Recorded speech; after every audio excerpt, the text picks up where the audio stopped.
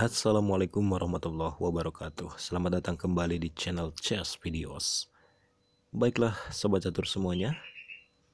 Di video kali ini saya akan membagikan Partai catur Yaitu antara Vinokurov Andrei versus Mikhail Tal. Pertandingan ini terjadi di Leningrad pada tahun 1954 kita langsung saja ke permainannya sekarang juga. Let's go!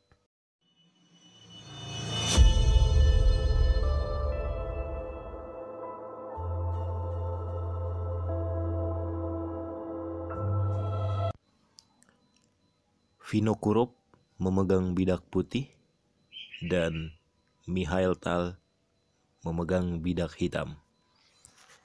Permainan dimulai dengan pion E4 dibalas dengan pion C5. Pertahanan Sisilia.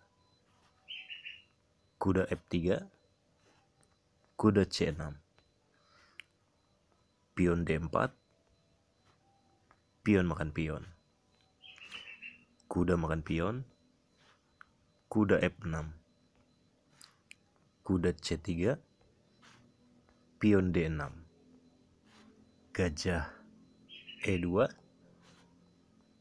pion E5 mengancam kuda kuda mundur ke B3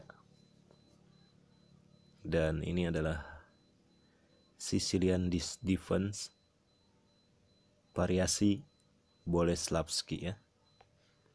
Gajah E7 dan kedua pemain rokade pendek.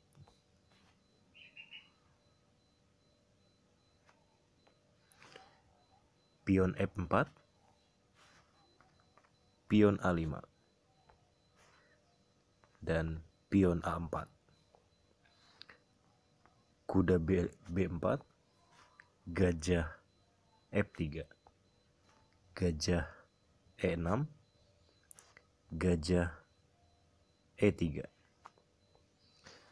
Pion makan pion, gajah makan pion. Dan di sini Tal mulai beraksi ya dengan mengorbankan kudanya makan pion C2. Menteri makan kuda dan menteri ke B6 skak. Raja ke H1 gajah makan kuda. Tal mendapatkan kudanya lagi ya dan untung satu pion menteri ke D2 kuda ke D7 gajah ke E3 mengancam menteri menteri ke B4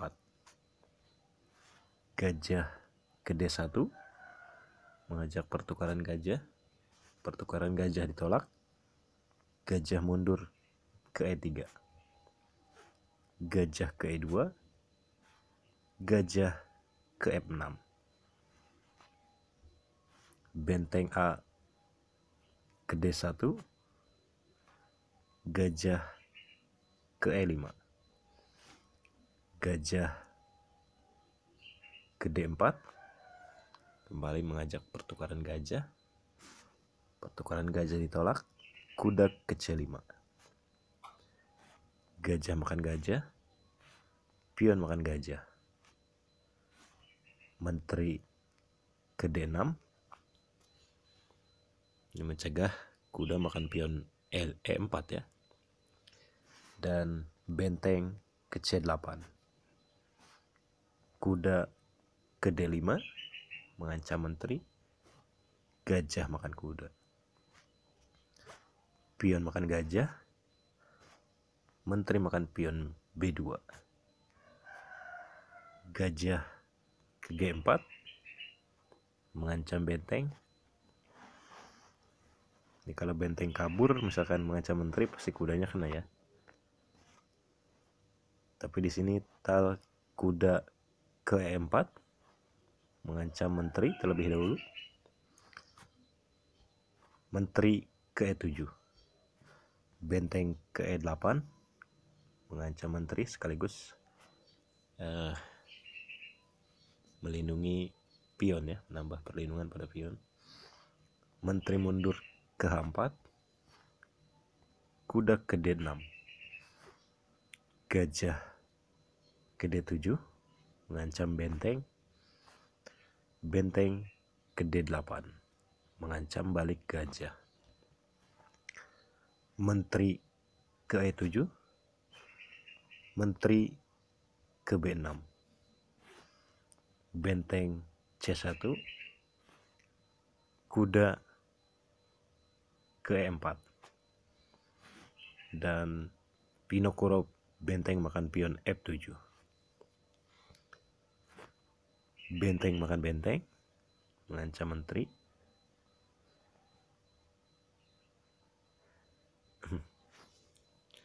Seharusnya nih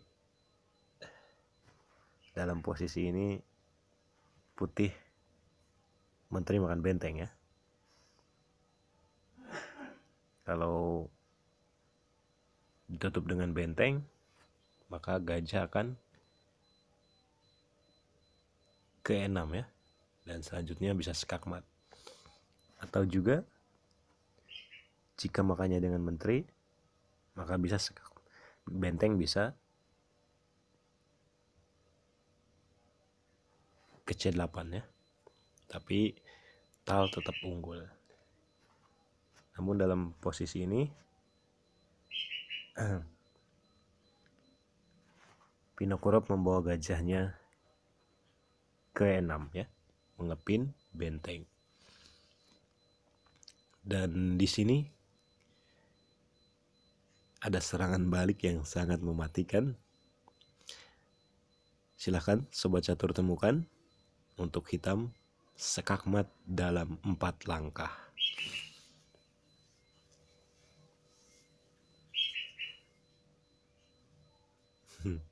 Tal didesak atau mau dikombi ini malah musuhnya yang kena kombi balik nih Oke, apakah Sobat Catur sudah bisa menemukannya? Betul sekali. Langkah pertama adalah kuda ke F2, skak. Raja hanya bisa ke G1 dan kuda ke H3 discover double skak. raja ke H1 lagi dan menteri ke G1 skak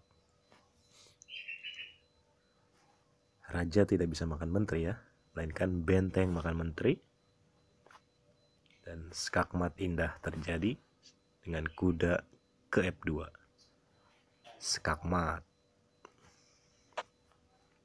wah. Keren sekali Michael Tal ya.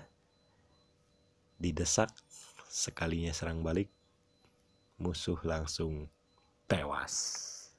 Terima kasih sudah menonton. Mohon maaf jika ada salah-salah kata. Gen Unasumus Assalamualaikum warahmatullahi wabarakatuh